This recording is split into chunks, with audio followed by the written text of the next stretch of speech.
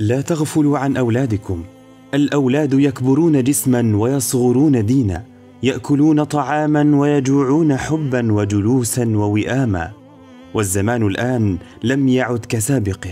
في اليوم الذي تغفل فيه عن ولدك يهجم على عقله ألف فكرة خاطئة وعلى عينيه ألف ألف مقطع سيء وعلى وقته ألف ألف شاغل وشاغل بالشر عن الخير.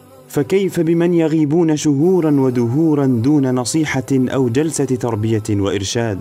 أيها الآباء لا حاجة لأولادكم في الثوب الجديد أو المصروف الكبير أو الميراث الوفير إذا لم تؤسسه بحضورك على حب الله ومراقبته وتكتشف مواطن الخير فيه فتتعهدها وتنميها وتعرف مكامن الشر في نفسه فتنتزعها وتنقيها. أيها الآباء لا تعتذروا بضيق أوقاتكم فتكونوا كمن يضحك على نفسه.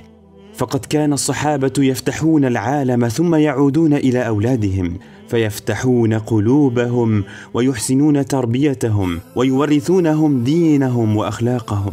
ولا تعتذروا فللرجال بصمات وللنساء لمسات ولا غنى للولد عن كليهما. ولا تعتذروا بالسعي على أرزاقهم فبئس الرزق ذلك الذي يقدم للأمة أجساما معلوفة وأخلاقا مهلهلة ضعيفة.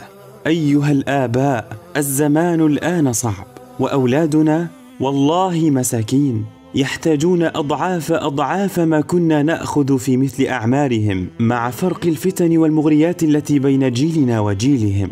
أيها الآباء عودوا إلى بيوتكم واشبعوا ضما وقربا من أولادكم العبوا معهم وقصوا عليهم قصصا تنمي فيهم الفضائل واستمعوا كثيرا إليهم اتركوا من أجلهم هواتفكم وتفرغوا من أجل هؤلاء الأبرياء عن بعض مشاغلكم أوقفوا الدنيا كلها من أجل فلذات أكبادكم.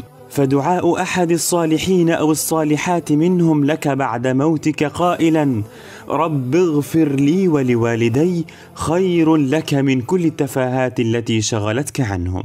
والسلام ختام.